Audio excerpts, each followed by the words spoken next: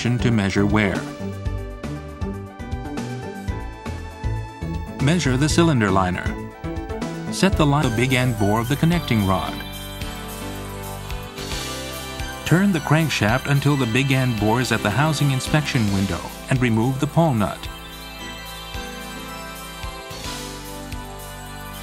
Attach the jack stand and the hydraulic jack. Tighten the hydraulic jack until it's completely seated, then back the jack off one turn.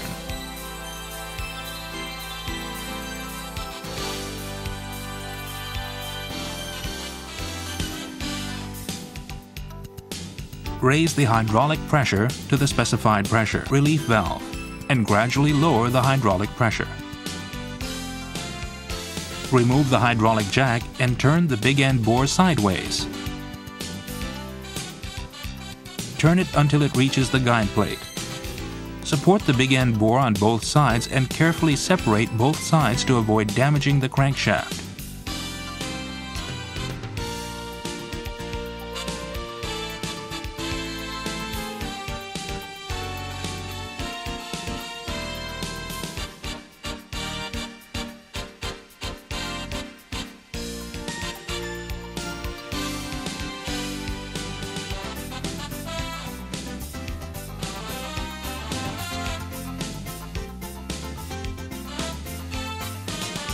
Clean the crank pin bearing shell thoroughly and inspect the back surface and the joint surface of the bearing shell for fretting, traces of burning, or debris.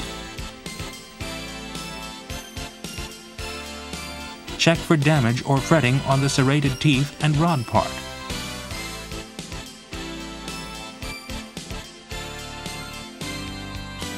Perform a color check on the serrated teeth to see whether there are any cracks.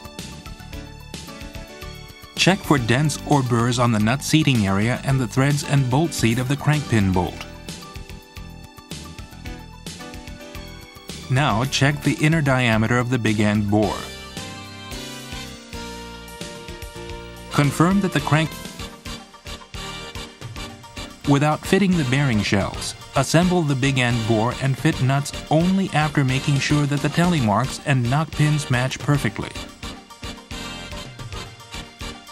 Tighten the big end bore to the specified pressure, and measure the big end bore diameter.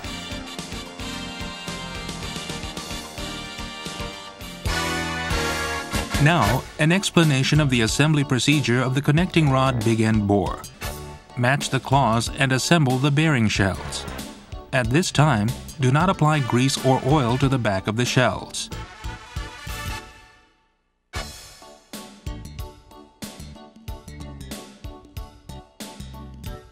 Wipe the crankshaft clean and apply lubricating oil to the surface of the bearing shells. Check the location of the identification mark, round embossed seat and knock pin. Face the round embossed seat toward the front of the engine and assemble the metal cap halves from both sides without scratching the crankshaft. The bolts and nuts are punched with numbers, so be careful not to misplace bolts when reassembling. Attach the nuts and fasten them. Tighten the nuts to the specified pressure in the same order as when disassembling. When they're seated, secure them by tapping the jack handle with a hammer. Then attach the pull nut. Check if the big end bore turns easily on the crankshaft. Now let's assemble the piston and connecting rods. Clean and air blow each part before assembling the pistons.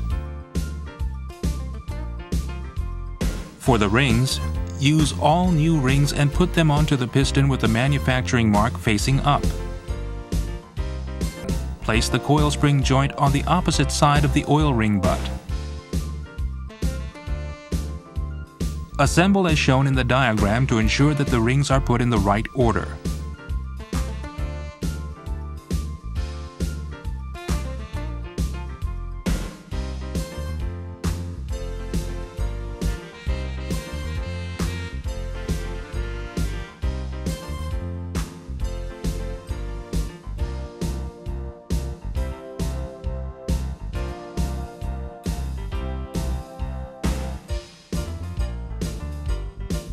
Measure and record the clearance between the ring and the ring groove with a thickness gauge.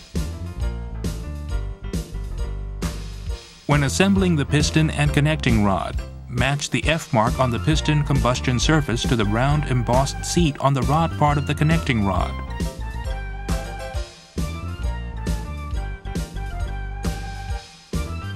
Apply lubricating oil on the piston pin and fit the piston pin into the piston. Then fit the snap rings into the groove.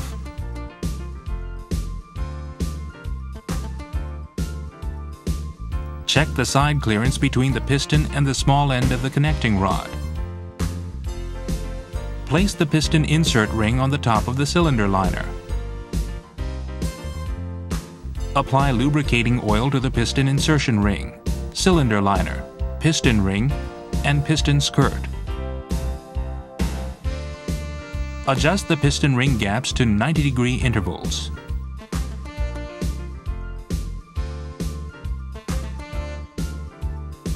Place the crank pin at bottom dead center. Then slowly insert the piston into the cylinder liner, lowering it slowly while matching the bottom of the rod part with the big end. Finally, match the knock pin. Place the protect ring so that the identification mark can be seen from the top.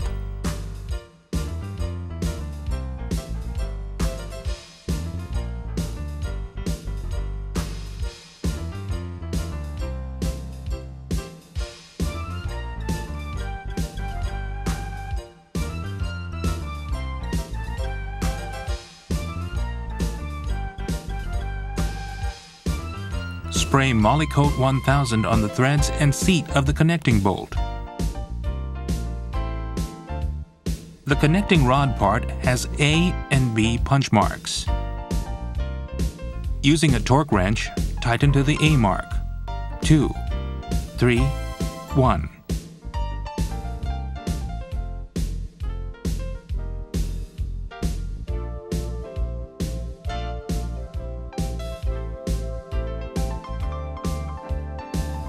Further tightening to the B mark is also done in this order.